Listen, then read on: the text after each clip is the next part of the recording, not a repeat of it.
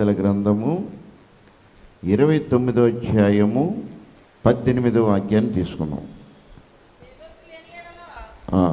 దేవోక్తి లేని ఎడల. దైవోక్తి లేని ఎడల. జనులు కట్టులేక తిరుగుదురు.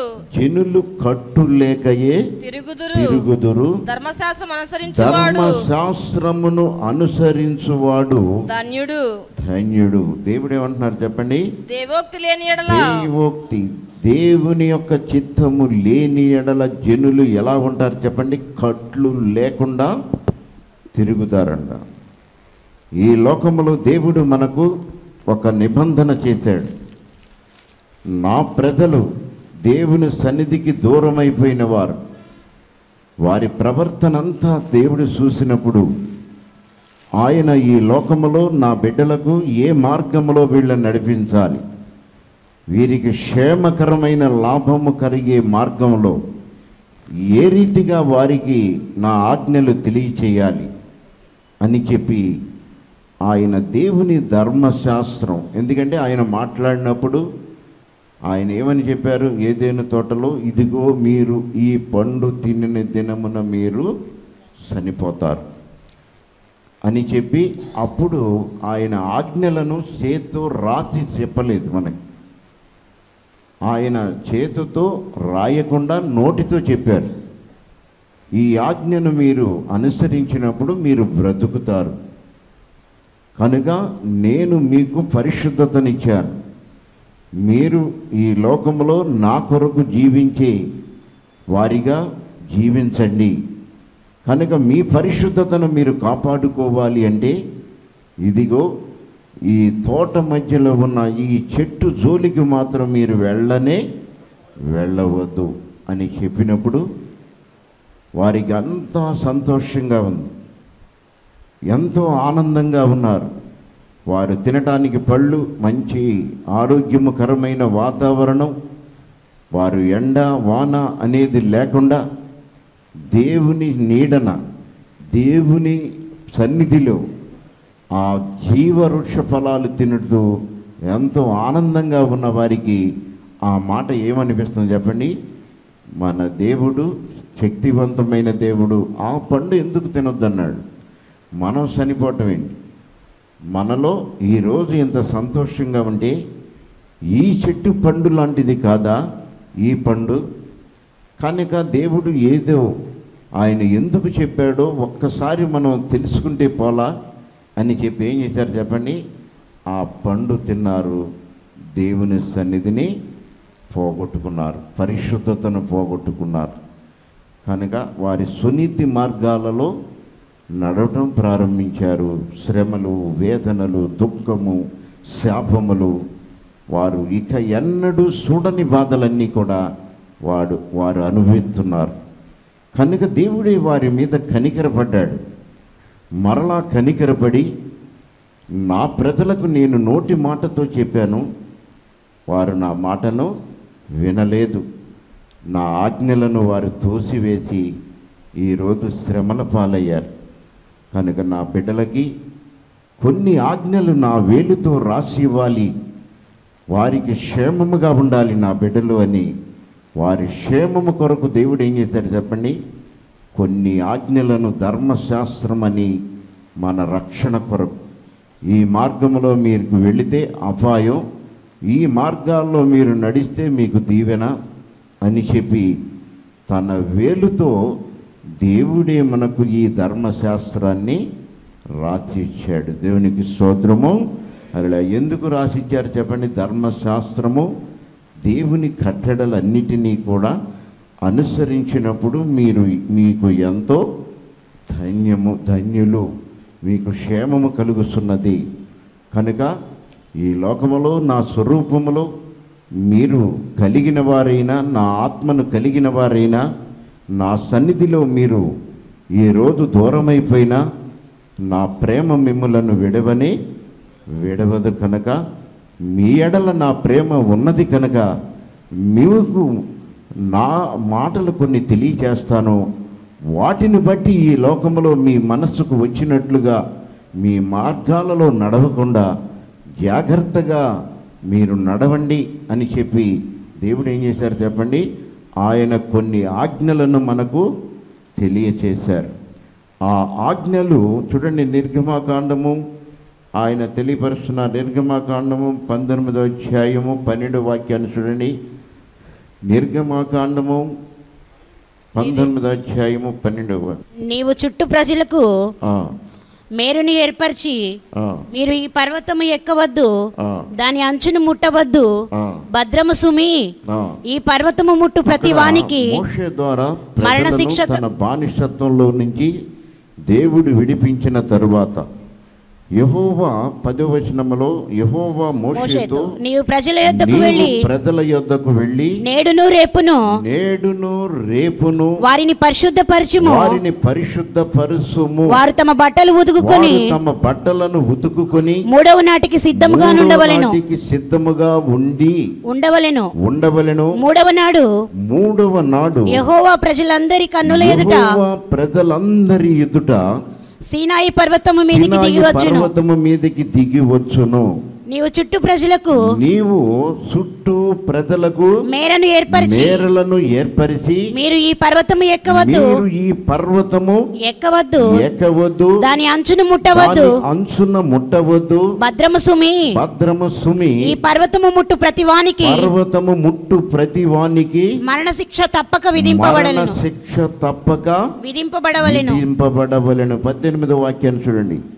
యెహోవా అగ్నితో యెహోవా అగ్నితో సీనాయి పర్వతము మీదికి సీనాయి పర్వతము మీదికి దిగి వచ్చినందున దిగి వచ్చినందున అదంతయు అది అంతయు ధూమమయమై ఉండెను. ధూమమయమై ఉండెను. దాని ధూమము దాని ధూమము కొలిమి ధూమము వలె లేచెను. కొలిమి ధూమము వలె ఉండెను. పర్వతమంతయు పర్వతమంతయు మిక్కిలి కంపించెను. మిక్కిలి కంపించెను. ఆ బూరధ్వని ఆ బోరదుని అంతకంతకు బిగ్గరగా మ్రోగెను అంతకంతకు బిగ్గరగా మ్రోగెను. మ్రోగెను. మోషే మాటలాడుచుండగా. మోషే మాటలాడుతుండగా దేవుడు కంఠస్వరము చేత. దేవుడు కంఠస్వరము చేత అతనికి ఉత్తరం ఇచ్చుచుండెను అతనికి ఉత్తరమిచ్చుసు ఉచ్చరం ఇచ్చుచుండెను ఆ, యెహోవా యెహోవా సీనాయి పర్వతము మీదికి సీనాయి పర్వతము మీదికి అనగా అనగా ఆ పర్వత శిఖరము మీదికి దిగి వచ్చెను. పర్వత శిఖరము మీదికి దిగి వచ్చెను. దిగి వచ్చెను. యెహోవా పర్వత శిఖరము మీదికి రమ్మని. యెహోవా పర్వత శిఖరము మీదికి రమ్మని. రమ్మని మోషేను పిలువగా. మోషేను పిలవగా. మోషే ఎక్కిపోయెను. మోషే ఎక్కి వెళ్ళిపోయాడు. అక్కడ ప్రజలందరినీ కూడా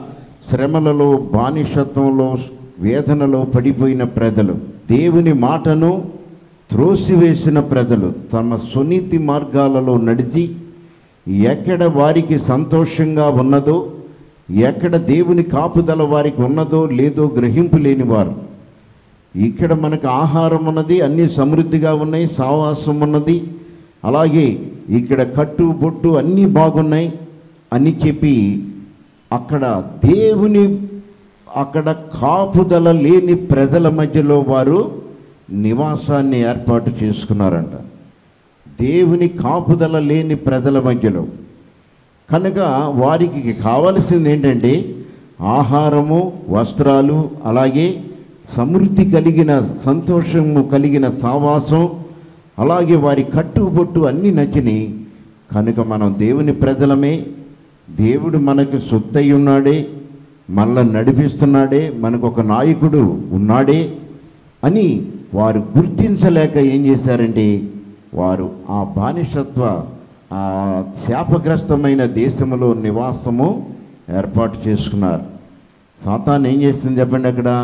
వారందరినీ కూడా అధికముగా బానిసలుగా చేసి వా దేవుని ప్రజలందరినీ కూడా అక్కడ భయంకరమైన శోధనలకు అప్పగించి వారందరూ కూడా బయటికి రాలేని పరిస్థితిలో బానిసలుగా అక్కడ బందీలుగా పట్టబడిపోయారు.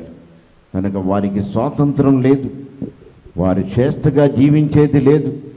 దేవుడు వారికి ఇచ్చిన అధికారాన్ని పోగొట్టుకుని వారు కేవలము మరి ఈ లోక సంబంధమైన సంతోషం మీద దృష్టి పెట్టి ఆ దేశంలోకి వెళ్ళి బానిసలుగా మారిపోయారు. అలాంటి ప్రజలను దేవుడు తన మరి వారి బాధను వారి వేదన చూసినప్పుడు ఆయన వారిని విడిపించడానికి ఒక నాయకుడిని ఏర్పాటు చేసుకుని ఆ ప్రజలను ఆ బానిసత్వం నుంచి విడిపించి వారిని తన పరిశుద్ధ పర్వతము దగ్గరకు వారిని నడిపించమని ఆ నాయకుడితో చెప్పినప్పుడు అందరూ కూడా ఆ పర్వతము దగ్గరకు వచ్చారు. వచ్చినప్పుడు నా ప్రజలు జ్ఞానము లేని వారై చెరపట్టబడిపోతున్నారు. కనుక మీరు అలాగ వెళ్ళొద్దు. కనుక మీ కొరకు నేను నా మాటలు కొన్ని తెలియజేస్తాను నా ఆజ్ఞలను బట్టి మీరు నడుచుకొనండి. ఏ శోధన మీకు రానే రాదు. ఏ అపాయము మీకు రానే రాదు. నా గుడారము మీకు తోడుగా ఉంటుంది. నా సన్నిధిలో మీరు క్షేమముగా ఉంటారు అని చెప్పి ఆయన పర్వతము దగ్గరకు వారిని తీసుకువచ్చినాక దేవుడు ఆకాశంలో ఉండే ప్రభు ఆయన భూలోకములో తన ప్రజలను దర్శించడానికి వచ్చినప్పుడు ఆయన శక్తి చూసినప్పుడు ప్రజలందరూ కూడా భయపడిపోయారు. ఆయన పర్వతము మీద దిగినప్పుడు ఆ పర్వతము కొలిమి వలె కాలిపోతుందంట. ఈ రోజుకి కూడా అలాగే ఉంది అక్కడ పర్వతం. కాలిపోయి అన్ని పర్వతాలు ఒక రకంగా ఉంటే ఇది కాలిపోయిన బొగ్గు వలె ఉంటుంది అక్కడ ఎందుకంటే అంత దేవుని శక్తి ఆ పర్వతము మీద దిగినప్పుడు ఆ పర్వతం అంతా కూడా కొలిమి వలె ధూమము వలె అక్కడ మంటలు మండిందట మీ దేవుడు ఇంత శక్తివంతుడు. చూడండి ఇదిగో నేను మీకు ఆజ్ఞలను ఇస్తున్నాను.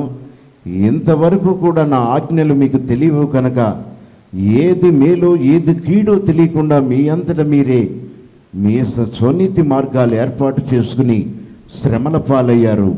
కనుక మీరు అలాగూ నడవకుండా మీ కొరకు నేను కొన్ని ఆజ్ఞలను ఇస్తున్నాను. అది మీకు ఎంతో క్షేమముగా ఉంటుంది. వాటిని న- నడుచుకునండి. చూడండి రోమాపత్రిక రెండో అధ్యాయం పదమూడు వాక్యాన్ని చూడండి. రోమాపత్రిక రెండో అధ్యాయము పదమూడో వాక్యాన్ని చూడండి. అలాగే రోమా పత్రిక పదో అధ్యాయం ఐదో వాక్యాన్ని కూడా. ధర్మశాస్త్రము వినువారు. అమ్మా నా ధర్మశాస్త్రమును వినువారు. వినువారు. దేవుని దృష్టికి నీతిమంతులు కారు గాని. దేవుని దృష్టిలో వారు నీతిమంతులు కారు గాని. కారు గాని. ధర్మశాస్త్రమును అనుసరించి. ధర్మశాస్త్రమును అనుసరించి ప్రవర్తించు వారే నీతిమంతులుగా ఎంచబడుదురు. వాడే నీతిమంతులుగా ఎంచబడుదురు. ఎంచబడును. దేవుడు అక్కడ ఏమంటున్నారు చెప్పండి? ధర్మశాస్త్రం. ధర్మశాస్త్రము వినువారు దేవుని దృష్టికి నీతిమంతులు. కారు గాని కారు గాని ధర్మశాస్త్రమును అనుసరించి ప్రవర్తించు వారే నీతిమంతులుగా నీతిమంతులు. దేవుని మాటలు వినుటలో మీరు నీతిమంతులు కాలేరు. దేవుని మాటలు ఆయన తన ప్రజలకు తెలియపరుస్తున్నాడు. ఆ పర్వతం మీదకి ఆయన వచ్చినప్పుడు ఆ పర్వతము మీద అగ్ని వలె ధూపము వలె ప్రభు స్వరముతో మాట్లాడుతుంటే ప్రజలందరూ కూడా భయపడిపోయారు. అది ఉరుముల ధ్వనివలి అగ్ని. ఎందుకంటే ఆ మంటలలో మాట్లాడుతున్న మాటల ధ్వని వినినప్పుడు ప్రజలైతే భయపడిపోయి మోషే ఇదిగో దేవుడు మాట్లాడితే మేము బ్రతకనే బ్రతకలేము మేము చనిపోతాం. కనుక నీవు దేవునితో మాట్లాడి ఆయన మాటలు మాకు తెలిసాయి మేము వింటాం. కానీ మేము మాత్రం ఆయన స్వరము వినలేము. ఆయన పరిశుద్ధతను మేము చూడలేము. మా దేవుడు శక్తివంతుడని మేము నమ్ముతున్నాం. కనుక ఆయన ఏ ఆజ్ఞలు మాకు తెలియచేస్తే ఆ ఆజ్ఞలు మేము నడుచుకుంటాం అని చెప్పి ప్రజలందరూ ఏకకంఠముతో దేవుని మాటకు లోబడ్డారు. దేవునికి స్తోత్రము. అలా కనుక దేవుడు అక్కడ ఏమన్నారు చెప్పండి. రోమా పత్రిక రెండో అధ్యాయము పదమూడు వచనములో ధర్మశాస్త్రము వినువారు దేవుని దృష్టికి నీతిమంతులు కారు గాని నీతిమంతులు కారు గాని ధర్మశాస్త్రమును అనుసరించి ధర్మశాస్త్రమును అనుసరించి ప్రవర్తించు వారే ప్రవర్తించే వారే నీతిమంతులుగా ఎంచబడుదురు. నీతిమంతులుగా వారు ఎంచబడుతున్నారు. రోమపత్రిక పదోధ్యాయము ఐదో వాక్యాన్ని చూడండి. ధర్మశాస్త్ర మూలమగు నీతిని ధర్మశాస్త్రము మూలమగు నీతిని మూలముగా నీతి నెరవేర్చువాడు. నెరవేర్చేవాడు. దాని వల్లనే జీవించునని దాని వల్లనే జీవించునని మోషే రాయిచున్నాడు. మోషేతో దేవుడు చెబుతున్నాడు అక్కడ. ధర్మశాస్త్రము మూలముగా నీతిని నెరవేర్చువాడే. నెరవేర్చువాడు దాని మూలమనే జీవించునని మోషే రాయిస్తున్నాడు. అక్కడ మోషేతో చెప్తున్నాడు ఇదిగో ఈ మాటలు రాయి మోషే. నా ధర్మశాస్త్రమును వినుట వలన వారు నీతిమంతులు కాలేరు. నా ధర్మశాస్త్రములో ఏమి వారితో మాట్లాడానో ఏది చేయవద్దని వారికి ఆజ్ఞ ఇచ్చున్నానో ఏది పాపము ఏది పరిశుద్ధతో వారికి నేను తెలియచేస్తున్నానో ఆ ఆజ్ఞల ప్రకారముగా నెరవేర్చేవారే నీతిమంతులు. కనుక దానిని బట్టి వారు జీవిస్తారు. దానిని బట్టి వారికి శ్రమలు రావు. దానిని బట్టి వారి జీవితంలో సంతోషము సమాధానము ఉంటుంది. చూడండి పదో అధ్యాయం మొదటి వాక్యాన్ని చూడండి అక్కడే. సహోదరులారా సహోదరులారా ఇస్రాయేలీలు ఇస్రాయేలీలు రక్షణ పొందవలెనని. రక్షణ పొందవలెనని నా హృదయాభిలాషయు.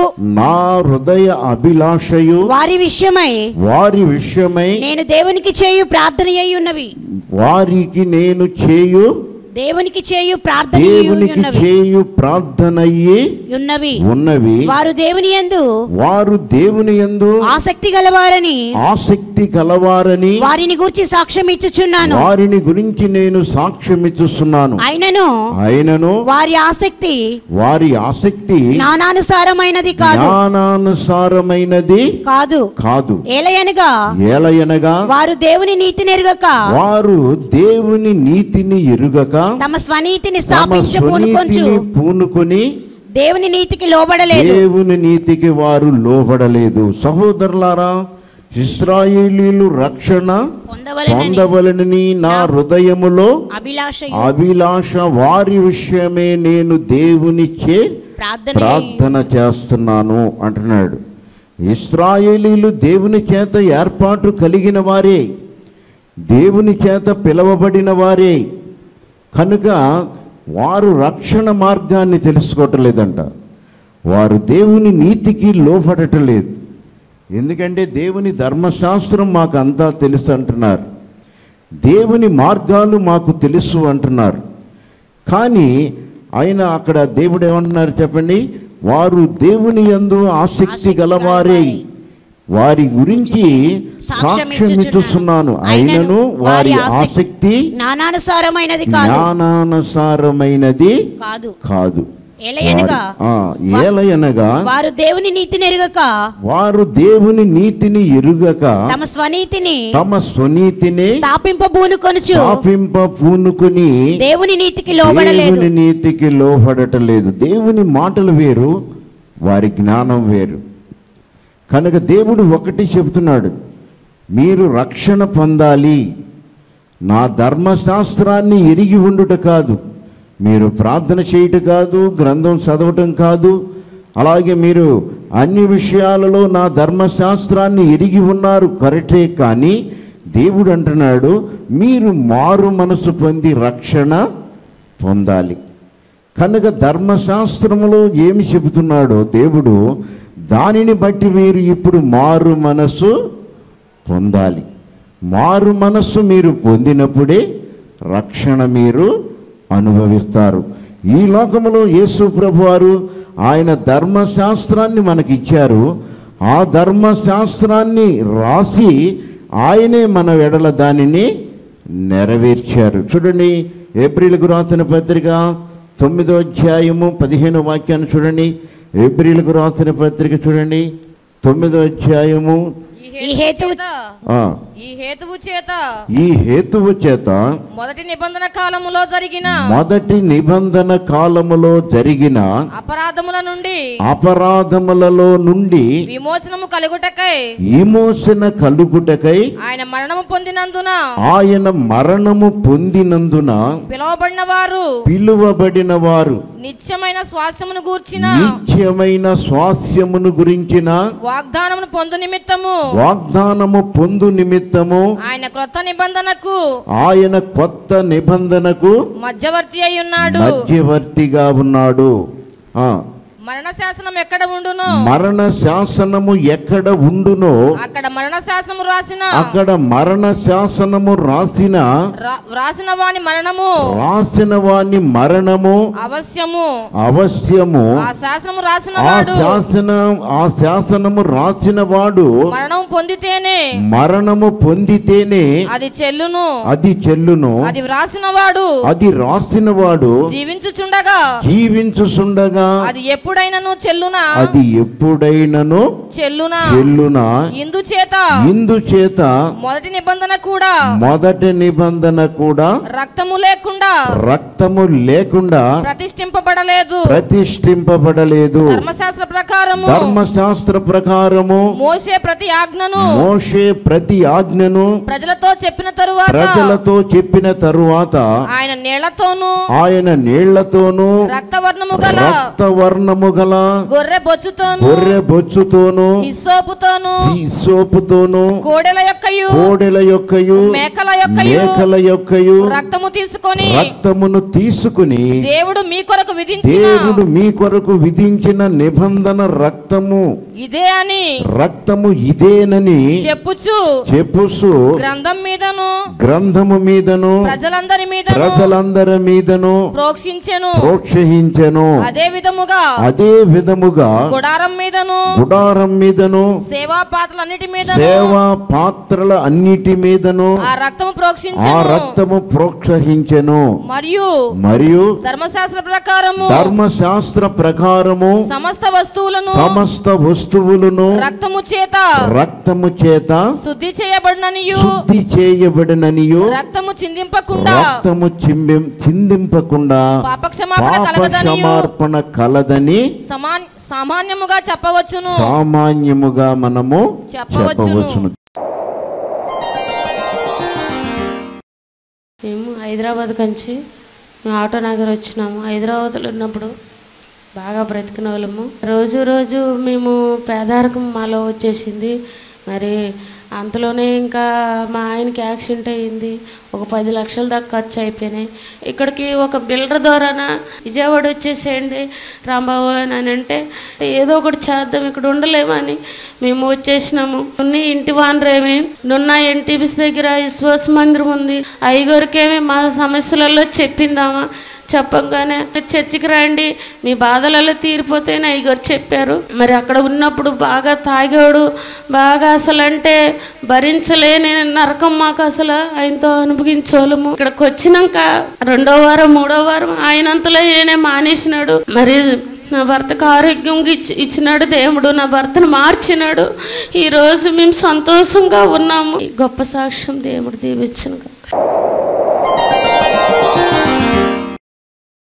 అయ్యగారికి అమ్మగారికి వందనాలండి. మాది గన్నవరం పక్కన దావాజిగూడెం అండి. మూడు సంవత్సరాల నుంచి నాకు గ్యాస్ ట్రబుల్ లాగా వచ్చేసి కడుపంత ఉబ్బరం ఎక్కడెక్కడ పట్టేస్తూ ఉండేయండి. పెద్ద హాస్పిటల్ తీసుకెళ్తే ఆయన అన్ని టెస్టులు చేసి ఇతని పరిస్థితి చాలా సీరియస్గా ఉంది బాగా నాకు పరీక్ష చేశారండి. పరీక్ష చేసి ఏమవుదమ్మా మందుల ధర తగ్గిపోద్దని చెప్పారండి. అని పది రోజులు మందులు ఇచ్చారండి. మళ్ళీ ఇంటికి వచ్చిన తర్వాత మళ్ళీ రెండో రోజున మళ్ళీ బాగా ఎక్కువైపోయిందండి. అప్పుడు అక్కడ ఎవరో ఈ చర్చి గురించి చెప్పారండి ఇక్కడ చాలా స్వస్థతలు వస్తాయి అని చెప్పి చెప్పుకుంటున్నారంట. ఈయన గారు ఈయన ఆ అడ్రస్ ఆ కాగితం మీద రాపించుకుంది. అలాంటిది అమ్మగారికి ఫోన్ చేసి అమ్మ మేము పలానా గన్నవరంలో గన్నవరం పక్కన దావాజీలో అమ్మది మేము ఇట్లా హాస్పిటల్లో ఉన్నాం. అమ్మ మరి మీ దగ్గర రావాలనుకుంటున్నాం. మరి మేము అంటే అయ్యా మీరు రెండే తప్పకుండా రండి. మీరు ఏడు వారాలు తప్పకుండా తగ్గిపోతుంది అని చెప్పి అయ్యగారు కూడా చెప్పారండి.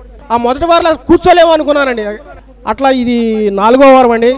ఇప్పుడు చాలా తగ్గిపోయిందండి చాలా చాలా వరకు నాకు తగ్గిపోయిందండి. దేవుడి చిన్న సాక్ష్యాన్ని దీవించాలని మేము కోరుకుంటున్నాం.